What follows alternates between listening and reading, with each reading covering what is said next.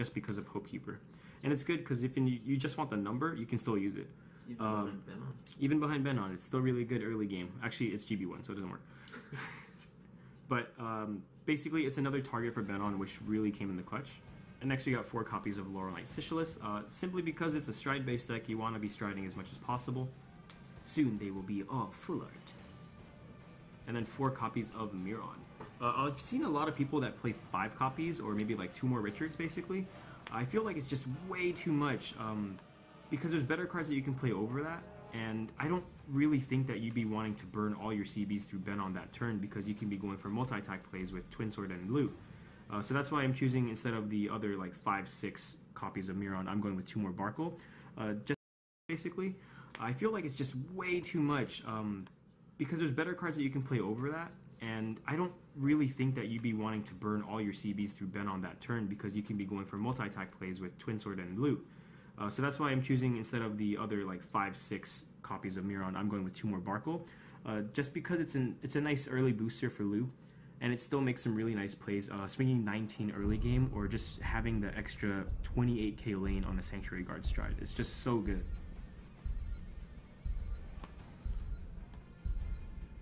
And moving on to our triggers, uh, we're playing one of the most aggressive decks in the game, so you want to be playing eight crits. Um, there's no question. You can you like draws are good also in this deck since it is kind of combo oriented. Uh, but the whole point of it of this deck is that even if you have to run with triggers and drop like a poop column, Sanctuary Guard fixes that for you. Because even if you have a full field of grade ones, you're giving plus 15,000 to the front row. It's insane. And then if you add that on top of all your crits you're running in the deck, your opponent might just get punched in the face and not even expect it. Like sometimes you think you're gonna lose and you win. Uh, four of them, of course, being Belinus because it's free soul and extra draws if you are on the Ultimate Stride. And then four of the Beast Flogel. Uh, it's insane what this card can do. Uh, it can provide so much multi-attacks for the Blaster Blades. It's really strong on the Sanctuary turns and also your Ultimate turns. Uh, it's basically your, one of the best finishers in this uh, deck. And then lastly, we got four heals. I'm going with the Seeker Loving Healer because I like the art. You can bash on it, but whatever. Elaine's cool too, but I just like this one better. And our starter is, of course, Milius. He's going to go ahead and grab us that grade 2. I've tried other starters. I just felt like this was best. Uh, I know that there was the other variant that had like Wingal Brave in it. Uh, the deck had to change a lot because you needed more blasters in order to get Wingal Brave off. It was still really good, but Milius is just all around better because if you're really that much in a pinch with 4 CB, you can make like pretty epic plays. Uh, moving on to our G zone, we are playing three copies of Holy Dragon Sanctuary Guard Regalia. Uh, this is just basically a card that should be restricted to one or two. It's just so strong. It's it's really stupid. Um, essentially, just getting super power lanes for pretty much no cost is just ridiculous. Uh, it makes your multi-attack plays so strong because it's a continuous skill. So no matter what you're be calling during the battle phase, it's still going to be getting that plus 3k. Uh, this is basically the stride that you want to be going into almost all the time if you have this set up right. And then after that, we got four copies of Aerial Divine Knight Altmile. Altmile is just, it's so good because it's so free. You get to call whatever grade 2 you need as long as that GB2 is active for him. Uh, ideally, the play you want to do is the Blaster Blade Flogel play if you do have Flogels in there. Uh, what I like to do if you know your deck is low, full of triggers, you just call out all your Flogels, you grab the Blaster Blade with Altmile, and you swing with the whatever 32,000 Blaster Blade as long as you pass all the triggers to it. Though that's imagining if you pass three triggers, which is just godlike.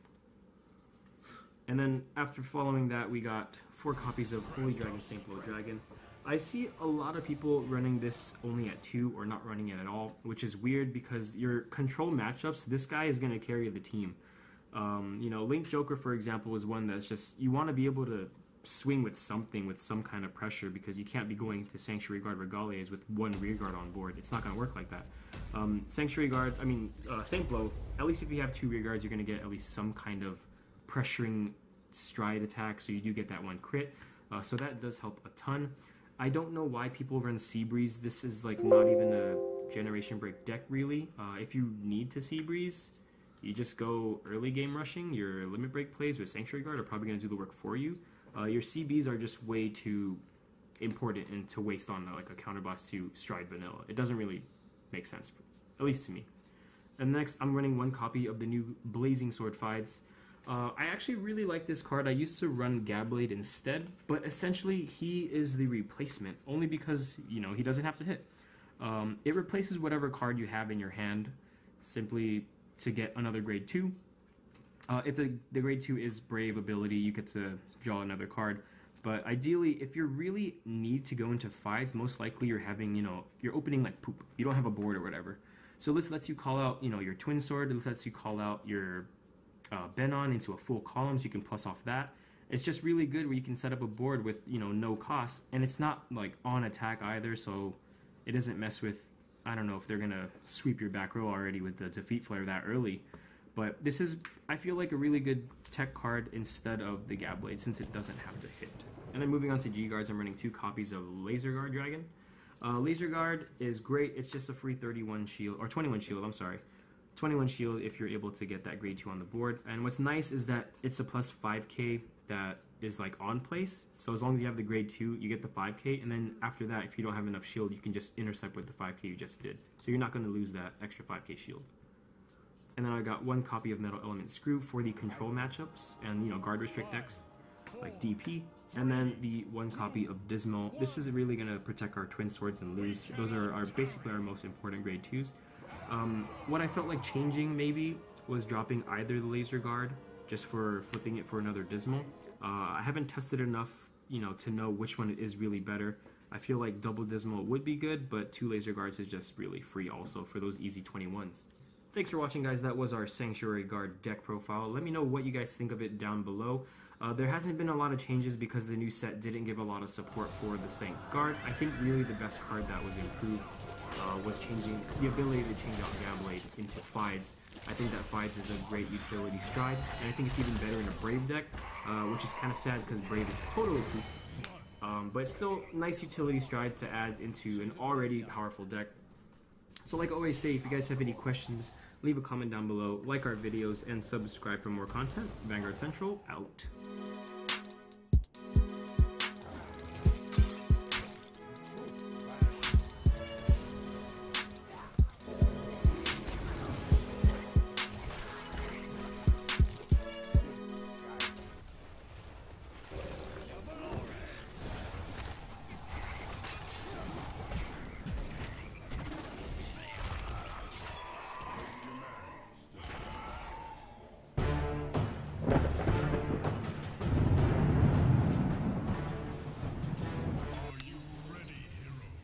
Guys, Archangel7 once again, and I'm just doing a follow-up video to the GTD09 uh, True Zodiac Time Beast uh, unboxing that I did. So, I just want to go over the deck that I put together based off of the trial deck. So, um, this deck can be purchased pretty much for $28. There, everything is trial deck except for uh, two cards. And uh, there are some other tweaks I'd like to make to it, but uh, just for now, this is what I came up with. So, uh, as for the starter, Chronodran, and I won't go over their skills because uh, I did that in the unboxing video. So if you haven't seen the unboxing video, they'll uh, be in the description. So, um, but uh, G, Chronodran G for the starter, um, four copies of Chrono Jet Dragon G, and four copies of Chrono Fang Tiger G. Then I run four Chrono Beat Buffalo, the 11k attack guy. For Chrono Claw Monkey, and he's kind of like a powerhouse as well. Uh, he gets 5,000. And uh, three copies of Chrono Spin Serpent, just vanilla uh, 10k grade 2. Um, four of the trial deck perfect guards. Chronothos Jackal 4 of, and four Steam Sniper Lishma. And the only two cards that are outside the trial deck is one copy of Casualty Dragon. Um, I'll go over his skill because he's not in the trial deck. He actually comes from the uh, the uh, clan booster but his skill is, go ahead and focus this real quick. Alright, so his skill is Uh, when he's placed on rear, if you have a Vanguard with Chronojet and its card name, choose uh, choose one of your units until end of turn. It gets plus 2,000 power and time for Vanguard or rear guard. Uh, when this unit uh, attack hits a Vanguard, choose one of your other rear guards. You may timely, but this guy's actually pretty sweet. I like him a lot because I'd rather be on Chrono Chrono Jet. So he works for Chrono Jet, obviously. So I would actually bump him to like four and bring her down. But I only have one right now that I got from uh, from one of my packs. And the other card is a one I got actually from the pre-release. It's Steam Maiden Mesh Kia. And her skill is rest this unit. When this unit is placed on rear from your deck due to uh, timely, you may pay the cost. If you do draw a card, choose one of your other rear guards and it gets plus 4,000 power. So that's pretty sweet. Draws your card, gives the unit power. Pretty nice. I don't I actually don't know how much this card is going for at the moment. Uh, it might be a little expensive, might not. But this is outside of the trigger as well. And as for triggers go, there are four stands from the trial deck. Four crit as well. For heal. And lastly, four of the draws. So I don't have, uh, I believe his name is like Uratar uh, stand trigger, which would probably be the better option just because he's really, really good. But this is nice in there because the uh, Zodiac timepiece. It's a Zodiac timing, so that works out nice. And then as for the G-Zone, just four copies of the Troudek Grade 4, uh, Metal Pulsar Clone Long, and then uh, these two are actually from the uh, Clan Booster as well. Deus Ex Machina Ergos. And uh, bind the top card of your deck face up. Uh, when this unit attack hits a Vanguard, you pay the cost. If you do, choose up to one card from your bind zone and put it into your hand. And choose a card from your hand and bind it face up. It's just, it's just something in there. I, mean, I probably won't uh, ever ride it because it's not a Zodiac Time Beast. Or uh, I think it's a, it's not a Gear Dragon, it's a Gear Colossus, so it won't work with uh, Trigger. But, uh, that is then I put these two in there, the little tiny uh, markers. So. Uh, but that's it, guys. Just a really quick follow-up video on um, what I did with the trial deck thus far. Uh, once I make more updates to it and actually play this out, I'm going to be uh, coming back with another update of it as well. But thanks for watching, guys. Hope you enjoyed the video. Leave a thumbs up, subscribe, and I'll catch you later. I will arrive soon, and the demon lord is close by. I must retreat.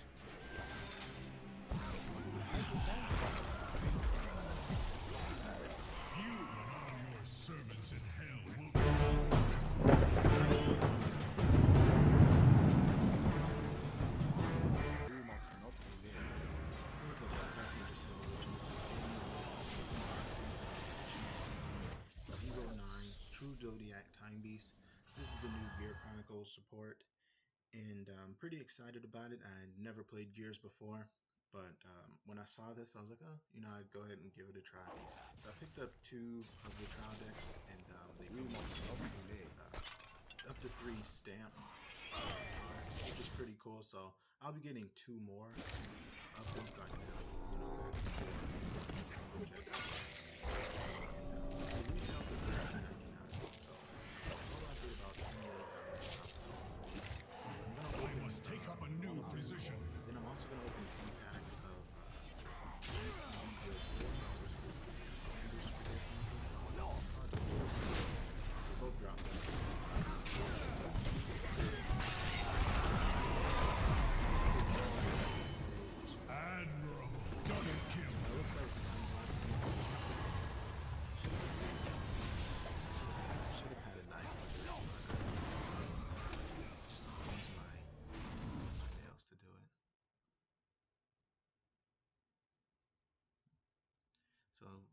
there's a lot of cards I'll probably be taking out of this and putting in uh, some other things. I don't have a lot of Gear Chronicle cards, but I do have some of the older things.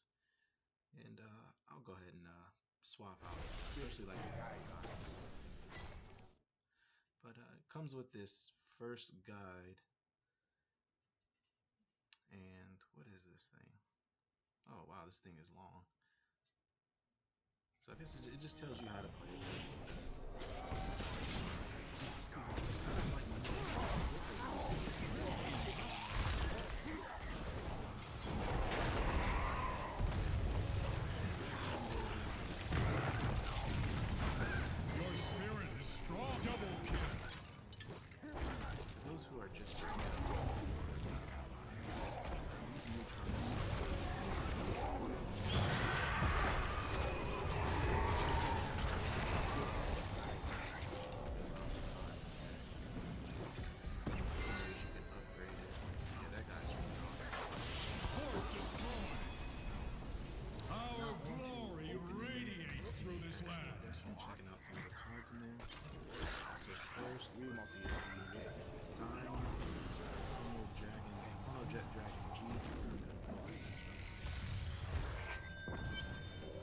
I will cleanse this land from your corruption, Hellspawn. Foil is really nice too. So definitely want four of those.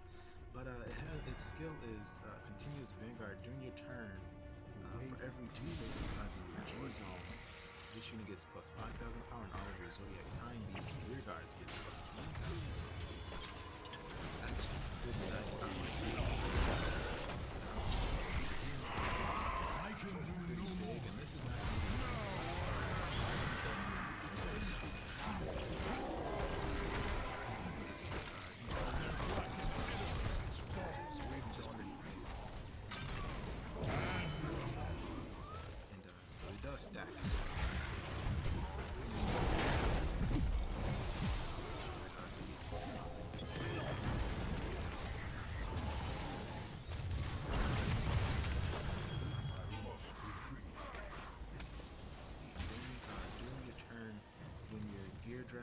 Zodiac Time Beast you stride, choose a card from your hand, call it to rear, choose up to one of your rear guards, and time leap it. So to time leap, you bind it, call a grade plus one from your deck, and shuffle your deck. At the end of turn, put the called unit to the bottom of your deck, and call the bound card. So it, it kind of gives on call units a which is pretty cool. So their skills can always activate whenever they're recalled. Two of those comes in in the trial deck. Next is uh, Metal Pulsar Long Long. I shall land Is on combat the battle, this unit is called. You may pay the cost. If you do, choose a grade 1 or greater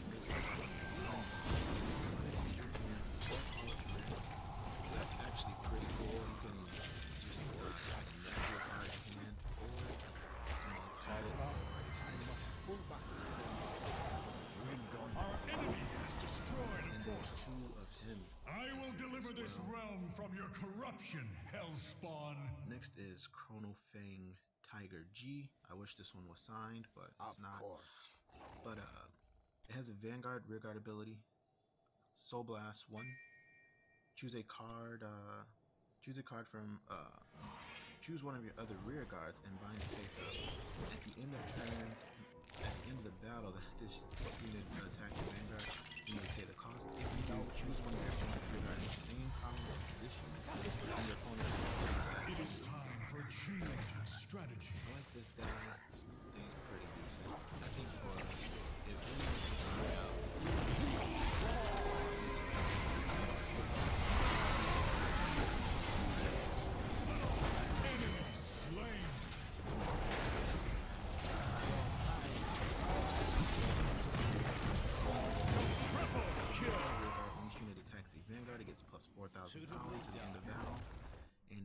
And when this unit is placed on rear, Killing this unit may spree. get grade minus Spirits two. whisper. So if you get minus two grade here, it's actually That's pretty much your trade, but I'll be taking her out and just running four Chrono Jets and four Chrono Fang Tiger. So unfortunately, I got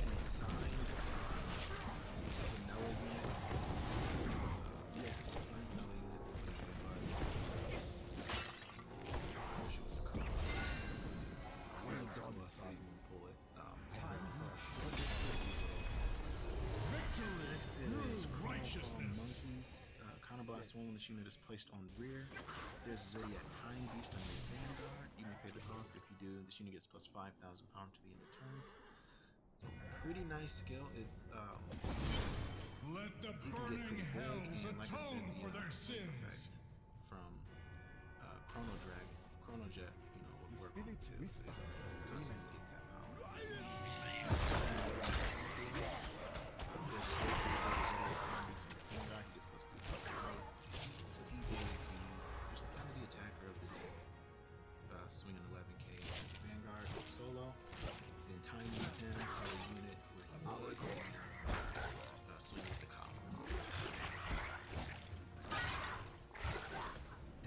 Always have these little shield guys. This guy's when you intercept, he gets plus 10,000 shield. Isn't bad, that's a lot. of shield.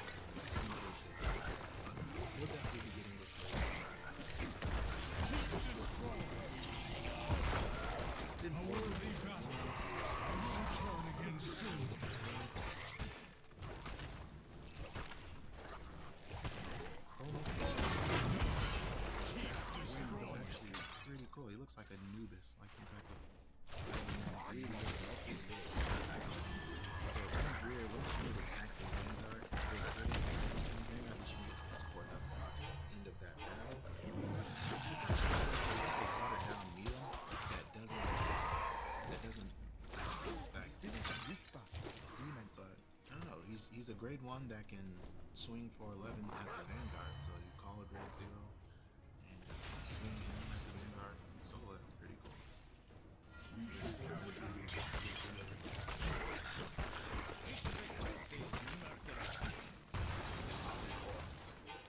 Steam Sniper Lishma. Lishma skill is Time Leap, Soul Blast when you choose a card hand and discard it. At the end of battle, this unit boosted a uh, a Vanguard, oh boosted a Vanguard, you may pay the cost. If you do, Time Leap this unit.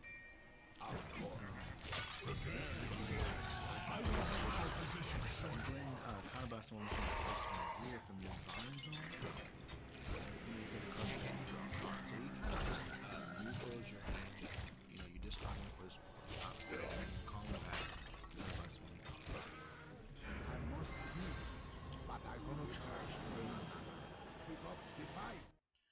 This unit is placed on rear, choose one of your other Zodiac Time Beasts, and it gets plus 3,000 power to the end of turn. The 6k body hurts, but I mean, the power up is pretty cool. I don't mind that at all. So. And the perfect guard. Let's see what this thing. Uh, choose a card from your hand and discard it, obviously. And uh, when this unit is placed on Guardian, you may pay the cost if you do choose one of your units that is actually pretty dope. Sweet because for one, um, it doesn't have to be close to you. Enough. I seek better ground. So that is actually uh, pretty decent. So I like that, and it's Now a good. It's a good. Um, you know, if you can't afford the counter charge perfect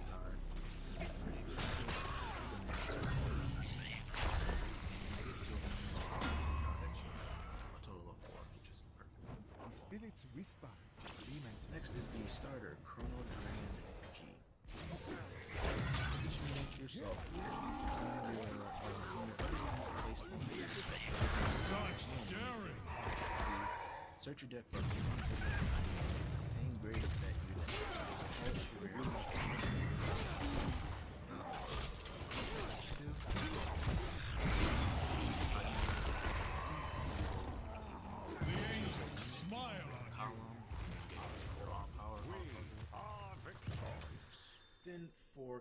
for. Your spirit is strong. Rainbow triggers so for Darkness take you. two of these. The light of the crystal arch shines on. Or stand. So I got the signed heal trigger, which is pretty cool.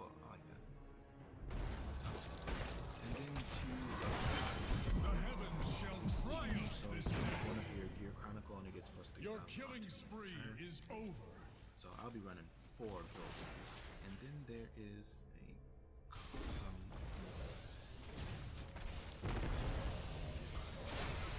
Okay, this is kind of, I guess, to um, uh, mark if one of your guys is timely.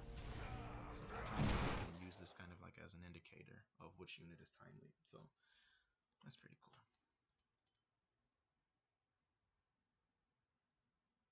right, so on to the packs.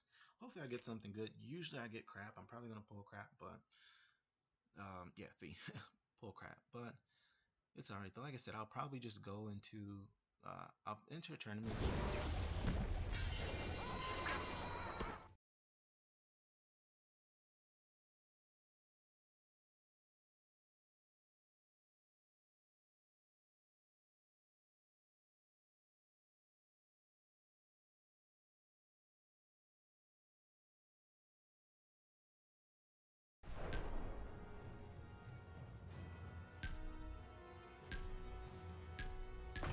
Epic.